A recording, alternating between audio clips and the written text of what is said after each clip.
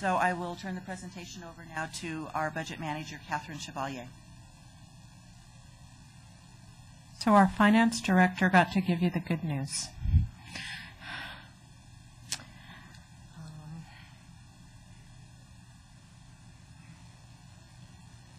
So I'm going to start here. Property tax and sales tax are our two largest revenue sources. They account for two-thirds of our operating budget. In the next few slides, we'll take a look at these two revenues in a bit more detail. Our property tax revenue situation has taken a turn for the worse since we talked with you in May. The continuing decline in transaction volume, real property transfer tax receipts, the increase in delinquencies countywide, further resets in variable rate mortgages coming in 2009, as well as an increase in foreclosure activity countywide have caused us to reduce our future revenue projections. According to our latest reports, the countywide delinquency rate has increased from 3.5% to 4.8%. Locally, transaction volume is down 2.9% compared to the same time last year, while real property transfer tax revenues have decreased by 33% through October of 2008. This decrease in revenue, with a relatively small decrease in transactions, means that our sales prices are now falling. Although the real property transfer tax is not a large portion of our revenues, around $1 million, it can often be an early warning signal as to what is likely to occur in the future relative to overall property tax revenues. In contrast to other parts of the state, where property values have already gone down, Fremont's median sales prices were holding steady through fiscal year 0708. However, for the first time, we are now seeing softening of the median sales prices that we have not experienced before. According to DataQuick, the median sales price in Fremont fell by 23.8% in October of 2008 compared to October 2007.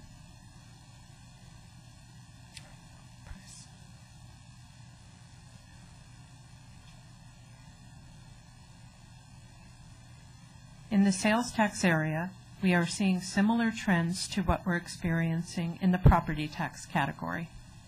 Sales tax revenue only grew 2.5% for the year, year ending June 30th, 2008, compared to a year earlier, where the year-over-year growth was a much higher 3.7%. We are experiencing declines in the areas of automobile sales and construction, and general retail is flat. The softening of sales tax is largely due to the decline in consumer spending, and since June 2008, the economy has worsened significantly. From what we've already observed for the first quarter of fiscal year 2008-09, we know that we are being adversely affected by the economy. We had been projecting a 4.3% revenue growth factor as part of the adopted fiscal year 2008-09 budget. Now, using the best information we have at this time, we have revised that growth factor down to 1.8%. Given the volatility in the economy, the 1.8% may need to be lowered even further. The lowered growth estimates are primarily in property tax, sales tax, property transfer tax, and vehicle license fee revenue.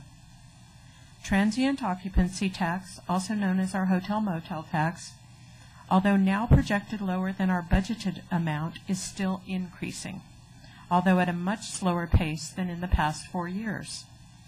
Fortunately, Measure MM was passed by the voters, which increased the transient occupancy tax rate.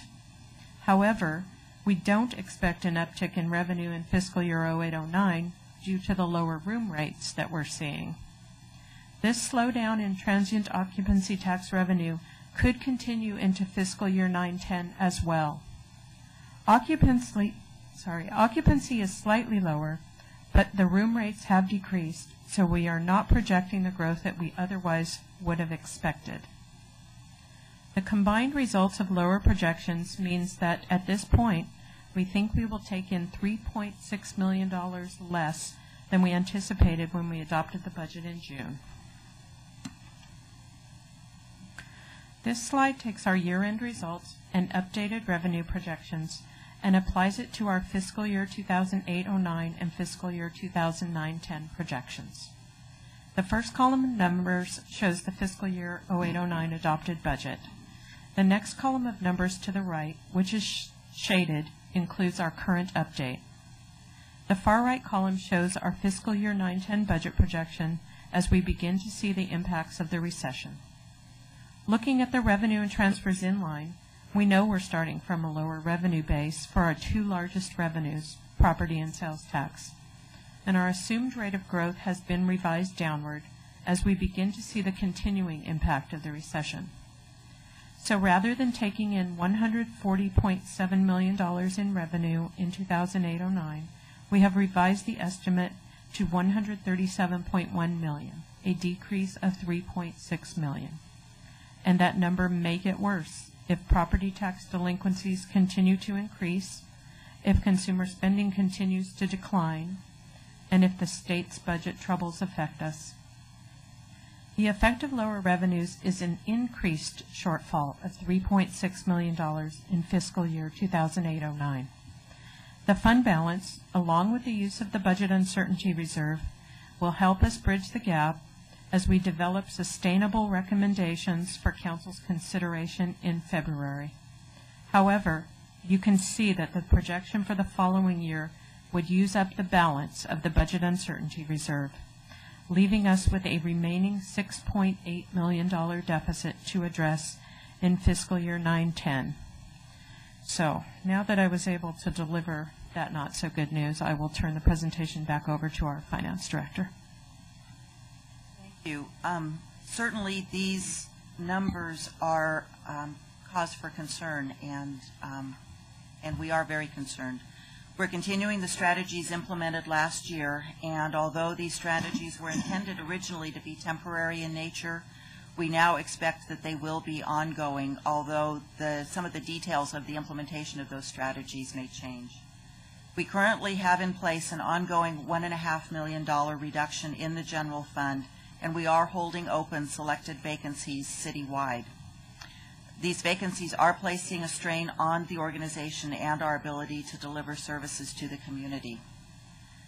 We're looking closely at our expenditures, and departments have been asked to reduce expenditures wherever possible. We have not yet updated the uh, expenditures and transfers out for what we think is likely to occur. We'll be doing that at mid-year, and so we do expect that there will be some savings um, in that line. Um, These estimates will be reported to you at the mid-year budget review in February. In addition, we're working with departments to identify sustainable budget reductions for the future because we know we need to bring the budget back into balance. We typically bring the latest financial information to you along with any new recommendations at the mid-year budget review in order to plan for the next fiscal year's budget, 0910. Unfortunately, this year is anything but typical in light of the impact of the recession and possible implications of the state budget and actions that the state may take. We'll come back to you in February, uh, or I'm sorry, in January, and regularly thereafter until we bring the budget proposal to you in May. And with that, I will turn the presentation back over to the city manager.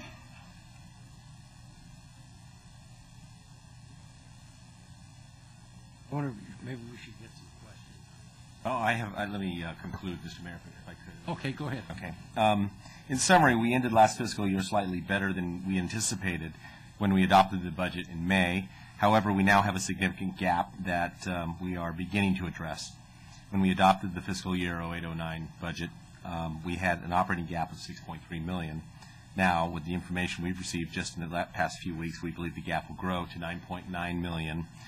Uh, The fiscal year 2009-10 projection uh, shows an expected operating gap of $11.2 million. The economy is in recession, and most economists do not expect a recovery until 2010 or later. It's hard to really figure out where we're at right now, um, but I would say we are somewhere between a significant recession and an economic freefall.